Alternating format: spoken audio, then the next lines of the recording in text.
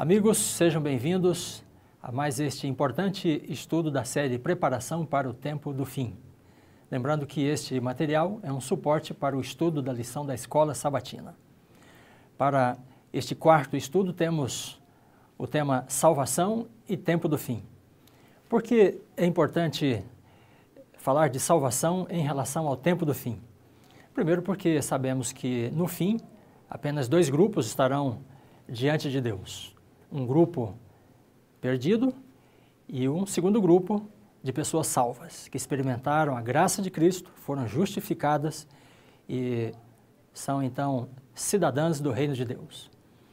Uh, então, o tempo do fim, é, na, na palavra de Deus, está diante de nós como um anúncio, uma previsão daquilo que Deus vai fazer a esta terra nos últimos dias.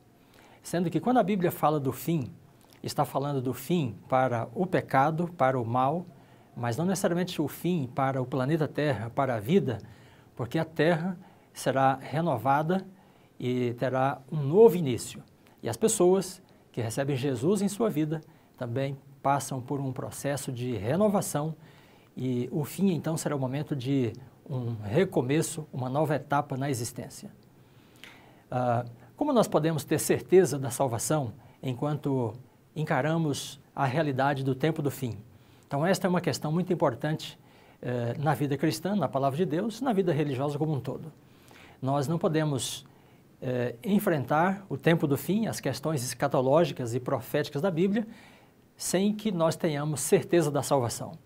Do contrário, as profecias nos trarão apenas ansiedade, temor e insegurança. Portanto, a, o objetivo desse estudo é tratar acerca de como nós podemos ter certeza e convicção de nossa salvação. Bem, o verso é, para memorizar deste estudo está em 1 João capítulo 4, versículo 10, que diz assim, Nisto consiste o amor, não em que nós tenhamos amado a Deus, mas em que Ele nos amou e enviou Seu Filho como propiciação pelos nossos pecados. Bem, o ser humano sempre uh, esteve ansioso por se sentir aceito por Deus. E, em geral, nós, ou todas as pessoas, pensam: o que eu preciso fazer para ser aceito por Deus? Na verdade, a aceitação é algo que mexe realmente com uh, a nossa psique, com o nosso sistema emocional.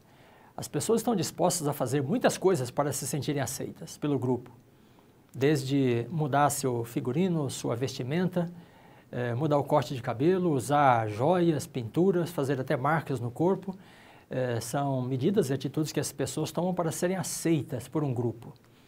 Uh, mas e diante de Deus, será que existe uma expectativa de sermos aceitos? Sim, certamente. Ao longo, na verdade, de toda a história humana, as pessoas buscaram uma convicção, uma segurança, uma certeza de que Deus ou os deuses em que elas acreditavam as aceitavam. Nas religiões antigas, eram comuns os sacrifícios rituais. Pessoas que se dispunham a sacrificar bebês, às vezes seus próprios filhos, para tentar granjear o favor das divindades. E as religiões que eh, promoveram sacrifícios de pessoas, além de animais, são muitas e algumas existem até hoje. Mas por que o sacrifício? É uma tentativa de conquistar, de granjear, de ter a, a aceitação ou favor é, do poder divino. Ah, mais próximo de nós, na Idade Média, muitos cristãos ah, impunham sofrimento a seu próprio corpo, é, como forma de é, conseguir conquistar essa segurança, essa certeza de ser aceito por Deus. Bem, então, a aceitação diante de Deus, a convicção de estar aprovado, justificado diante do juízo de Deus, é algo que realmente mexe com o ser humano. Porém, nós em geral pensamos: o que eu preciso fazer para ser aceito? Uh, eu preciso fazer algo primeiro e aí depois Deus me aceita, depois Deus me dá a certeza da salvação. Bom, esta é, em geral, a ordem em que as pessoas entendem que as coisas funcionam. Porém, o versículo que acabamos de ler diz exatamente o contrário, porque o, o apóstolo diz assim: Nisto consiste o amor não em que nós tenhamos amado a Deus primeiro, mas em que Ele nos amou.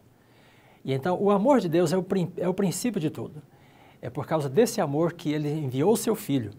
E é por causa da vinda de seu filho e do sacrifício de seu filho que nós temos a segurança de que somos aceitos por Deus e de que podemos ter a certeza da salvação. Bem, a, a senhora Ellen White, no livro Desejado de Todas as Nações, é, fala para nós acerca desta questão. É, como é que nós podemos ter certeza de que Deus nos aceita? Como é que nós podemos ter certeza de que estamos salvos? Nós precisamos de conhecer a Deus. E ela nos fala acerca do conhecimento de Deus. Uh, então, no, neste livro, Desejado de Todas as Nações, na página 22, ela diz que a terra se obscureceu devido à má compreensão de Deus. E então diz ela, para que as tristes sombras pudessem se iluminar e para que o mundo voltasse para o Criador, era preciso que se derrubasse o poder enganador de Satanás. Bem, então ela eh, está dizendo para nós que uh, Satanás investiu uma campanha eh, tentando denegrir, manchar, macular o caráter e a imagem de Deus. Então, está também dizendo ela que esta campanha deu certo no planeta Terra e as pessoas têm não só muitas dúvidas, questões acerca do caráter de Deus, como na verdade elas têm suspeitas acerca de Deus. Não é incomum as pessoas que têm medo de Deus. Por que alguém teria medo de Deus? Ah, porque muitos conceitos equivocados acerca de Deus eh, são transmitidos, são cultivados, e as pessoas têm o seu relacionamento com Deus alterado por esses conceitos equivocados. Então, está dizendo eh, a autora de O Desejar de Todas as Nações que ah, as artimanhas, os conceitos errados que Satanás promove acerca do caráter de Deus precisam ser desfeitos. Mas como é que nós podemos desfazer esses conceitos?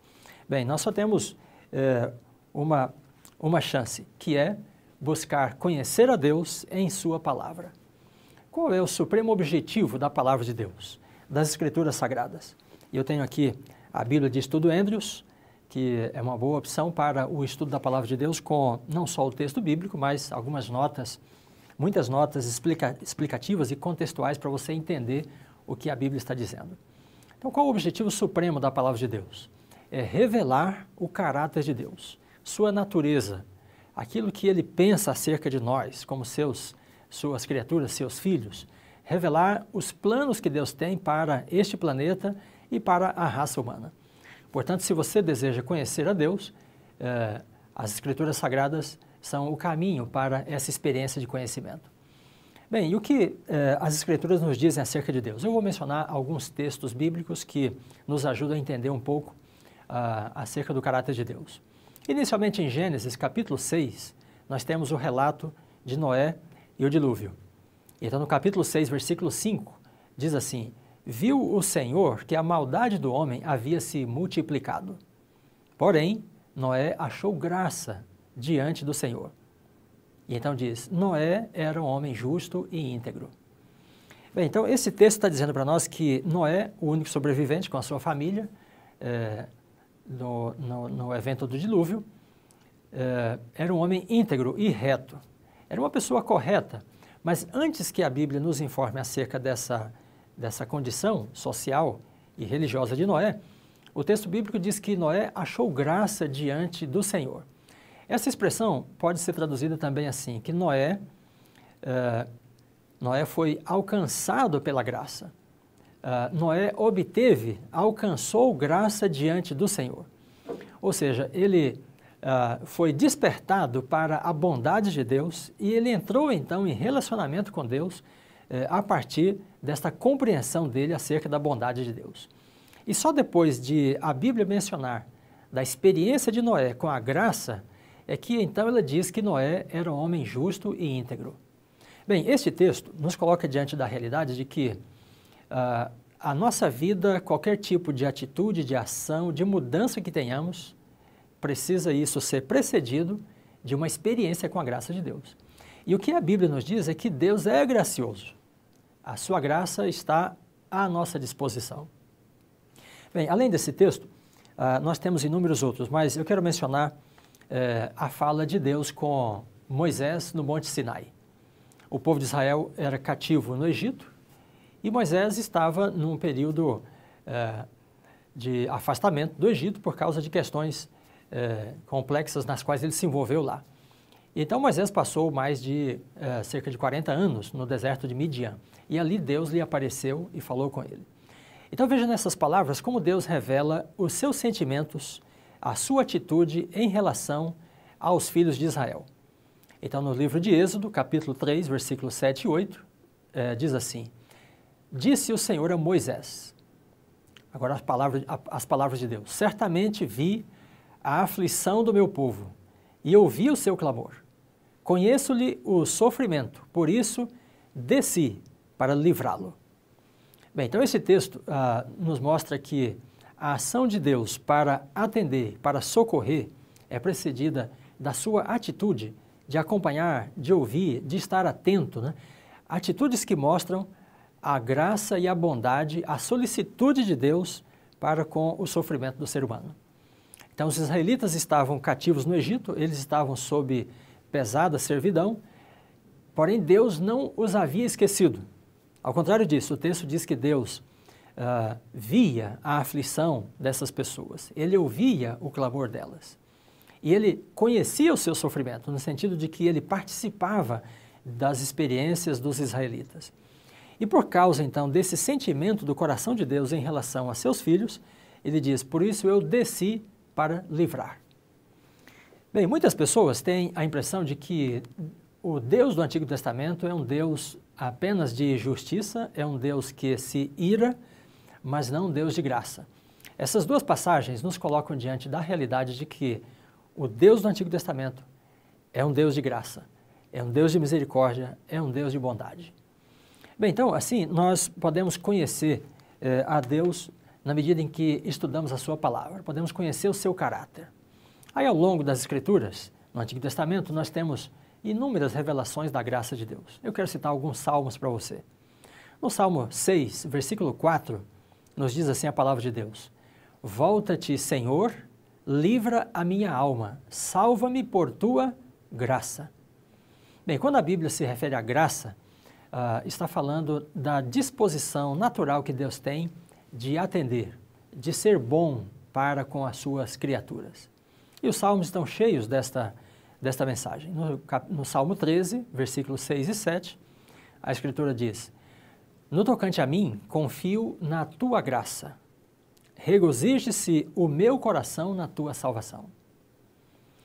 Bem, então, uh, estas palavras uh, são surpreendentes ao considerar que, para muitas pessoas, o Deus do Antigo Testamento é um Deus apenas de justiça, um Deus irado, um Deus cruel.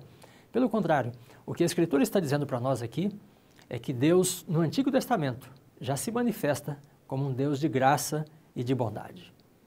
Ainda no Salmo, no Salmo 86, versículo 5, nós lemos: Mas tu, Senhor, és Deus cheio de graça. Esta é, era uma expressão uh, impressionante e completamente uh, nova e inédita no mundo antigo, porque os deuses não eram cheios de graça. Os deuses estavam uh, sempre na expectativa de receber algo das pessoas, assim elas criam, né, para que então eles se mostrassem de alguma forma favoráveis.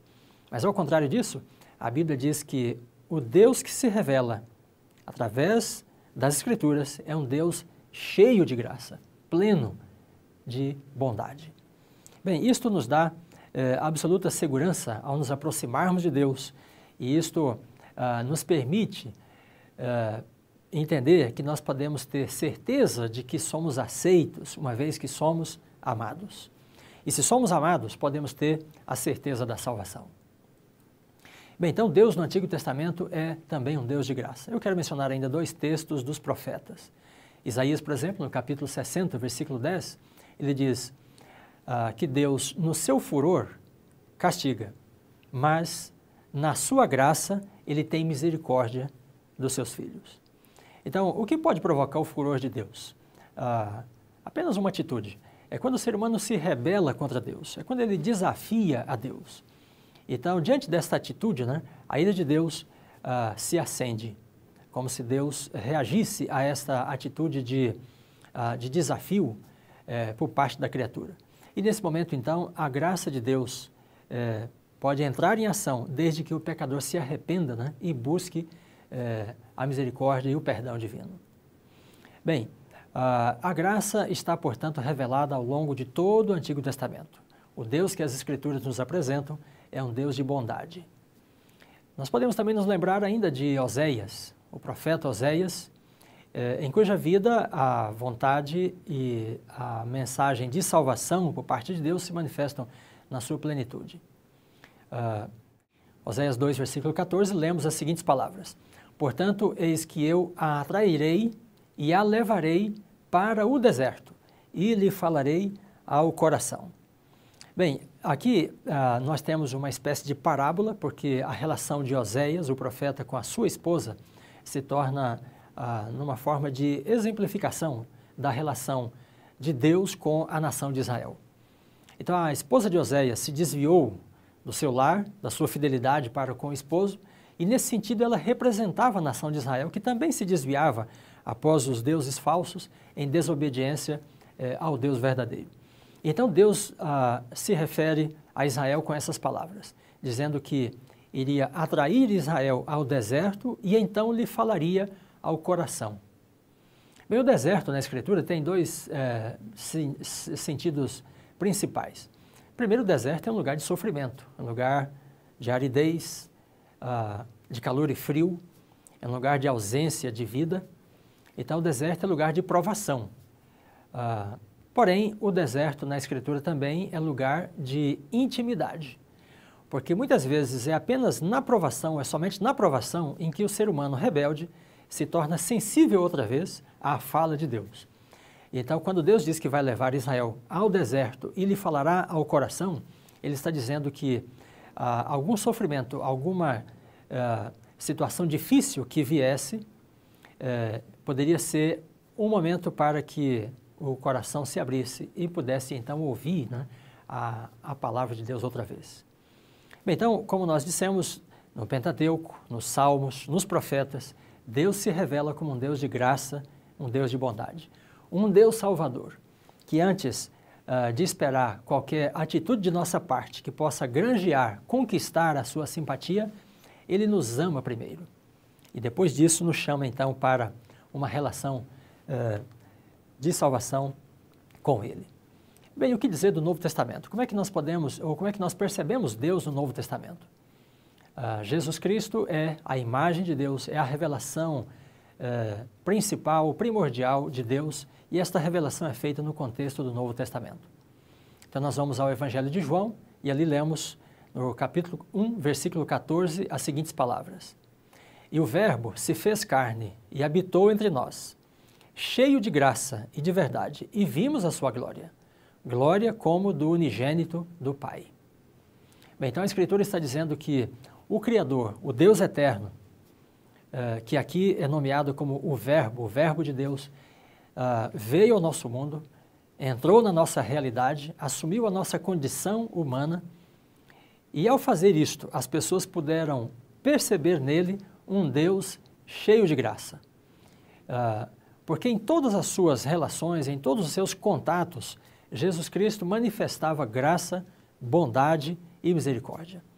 Diante de pessoas necessitadas, diante de pessoas doentes, diante de pessoas ah, que padeciam de algum tipo de deficiência, de privação, eh, a solicitude de Jesus era sempre eh, a nota tônica das suas, das suas ações e de suas palavras. Então, por isso o Evangelho diz que, tendo habitado entre nós, nós podemos vê-lo como um Deus cheio de graça, cheio de bondade. Bem, ah, além disso, o Evangelho de João nos diz que ah, Jesus não somente era cheio de graça e de bondade, mas que ele era a manifestação plena do caráter de Deus eh, diante dos seres humanos. E uma ocasião, ah, o discípulo Filipe chegou para Jesus e disse: Senhor, ah, o senhor poderia nos mostrar o Pai e isso nos basta. Esse relato está em João 14, versículo 9. Bem, a isto Jesus então reagiu, dizendo: Filipe, há tanto tempo estou convosco e não me tendes conhecido? Quem vê a mim, diz ele, vê o Pai. Bem, então se Jesus foi esse Deus cheio de bondade, um Deus solícito, um Deus misericordioso, além de poderoso para salvar, para atender, para socorrer. Então ele mesmo vem e diz: Aquele que vê a mim, vê o próprio Pai. Porque entre ele e o Pai há uma espécie de jogo de espelhos. Quem conhece a Cristo, conhece o próprio Pai. Bem, assim nós podemos então concluir que ao longo da Escritura, uh, nós temos uma revelação da pessoa e do caráter de Deus que não nos confunde. Deus é Deus de graça, é Deus cheio de amor e de misericórdia, do início ao final da Escritura. Mas você poderia perguntar: e quanto ao Espírito Santo? Seria também o Espírito Santo cheio de graça, de bondade, de amor? Bem, a Escritura responde para nós. Em Romanos capítulo 8, versículo 26, o apóstolo Paulo diz que o Espírito Santo, semelhantemente, nos assiste em nossa fraqueza. Aí ele diz: porque nós não sabemos orar como convém, mas o mesmo Espírito intercede por nós sobremaneira, com gemidos inexprimíveis. Bem, então, a mesma solicitude, o mesmo amor e a mesma graça é, manifestados no Deus do Antigo Testamento e em Jesus Cristo no Novo Testamento é, são também manifestados na pessoa do Espírito Santo. Porque aqui a Escritura está dizendo para nós que o Espírito Santo intercede por nós. Ele trabalha por nós, ele se empenha por nós. E diz ainda o texto bíblico que ele faz isso com gemidos inexprimíveis. Ah, ele nos assiste em nossa fraqueza em nossas dificuldades, em nossos desafios. Ele é um companheiro, é o consolador que Jesus enviou após a sua partida. Bem, e nessa mesma linha de pensamento, o apóstolo Paulo ainda diz em Gálatas, capítulo 5, versículo 22, falando sobre o Espírito Santo, ele diz que o fruto do Espírito é amor, alegria, paz. Então o apóstolo nomeia várias virtudes, mas a primeira delas, que qualifica o fruto do Espírito, é o amor. Então, se a presença do Espírito desperta ações de amor, é porque o Espírito tem o amor na sua própria natureza. Então, toda a Trindade, todo o céu é, é revelado para nós a partir dessa perspectiva. E nós podemos nos sentir inteiramente seguros, convictos de que somos aceitos porque somos amados. Como é que você pode ter certeza de sua salvação? Ah, estudando a palavra de Deus, para conhecer o caráter de Deus. Então é esse Deus que nos oferece salvação.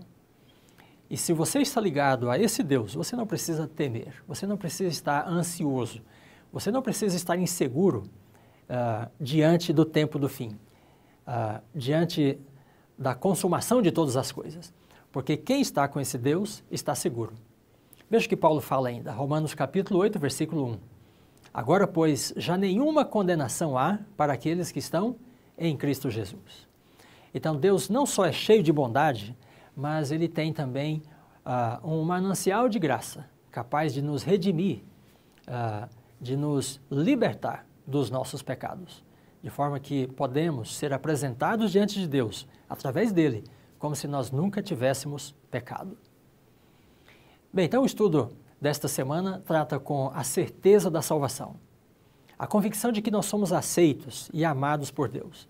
E esta convicção ah, nós ah, extraímos do fato de que o Deus que se revela nas Escrituras é um Deus de amor.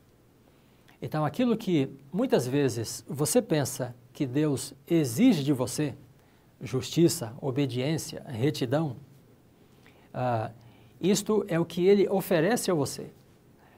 Quando você pensa que precisa fazer algo para que Deus ame você, para que Deus te aceite, o que a Escritura está dizendo é que antes de que você faça qualquer coisa, Deus já fez por você e Ele manifesta o seu amor e a sua graça, de forma que você possa se sentir seguro nele. Uh, eu gostaria de finalizar então esta, esse estudo com uma menção a uma pessoa que também sentia é, tremenda insegurança de sua salvação. Eu estou falando de Ellen uh, White, e quando ela era uma menina, já era uma serva de Deus. Ellen White foi criada na igreja metodista, e na igreja metodista ela havia aprendido sobre a salvação, e especialmente dentro desse tópico de salvação, ela tinha sido ensinada de que para que a pessoa se sinta aceita e convicta de sua salvação, ela precisa ter a santificação do Espírito. E na compreensão metodista daquele tempo, a santificação do Espírito era algo que a pessoa sentia no seu corpo. Então ela tinha uma espécie de confirmação é, de caráter mesmo emocional, é, e diante disso ela então se sentia inteiramente garantida, a pessoa, né, diante de Deus. E Ellen White então cresceu nesse ambiente em que as pessoas buscavam ah, fazer, viver, agir de determinadas formas diante de Deus, a fim de alcançar eh, esta bênção, esta confirmação de sua salvação. Bem, então, uh, ainda adolescente, Ellen White teve contato com a pregação de Guilherme Miller acerca da volta de Jesus. E ela ficou extremamente encantada com os estudos proféticos feitos pelo, uh, pelo pregador Guilherme Miller. E ela chega a dizer que os dias mais felizes da sua vida foram aqueles em que ela viveu na expectativa de ver Jesus voltar pelo ano 1843, 1844. Porém, apesar dessa expectativa, houve um período de extrema ansiedade por parte de Ellen White. E ela então se debatia desde os 12, 13 anos de idade eh, diante de Deus, buscando a certeza da sua salvação. E ela descreve uh, no, em alguns de seus livros, especialmente no Testemunhos para a Igreja, no volume 1, nas primeiras páginas, nas primeiras 20 ou 30 páginas, um pouco dessa experiência. Então, ela diz claramente que muitas vezes ela se sentia é, extremamente aterrorizada é, diante do pensamento da volta de Jesus, é, sem ter a certeza da sua salvação. E ela orava e buscava a Deus intensamente, na expectativa de ter esta segurança, essa confirmação no seu coração. E um dia, então, quando ela estava aí pelos 13 anos de idade, ela foi com os pais para uma campal. Uma campal promovida pela Igreja Metodista. E nesta campal, ela diz que estava decidida a buscar a Deus intensamente até que ela tivesse a confirmação da santificação do Espírito e finalmente estivesse segura da sua salvação. Uh, e nesta campal, ela então orou, ela se empenhou com Deus, lutou com Deus, buscando esta certeza da salvação.